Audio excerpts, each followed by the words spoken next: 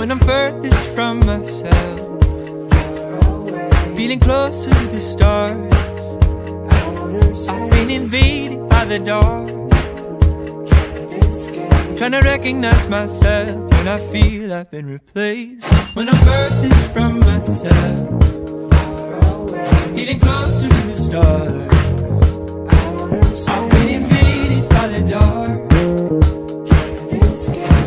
looking at myself I feel replaced. But I can feel it kick down in my soul, and it's pulling me back to earth. Let me know I am not a slave, can't be contained. So pick me from the dark and pull me from the grave, cause I still feel alive.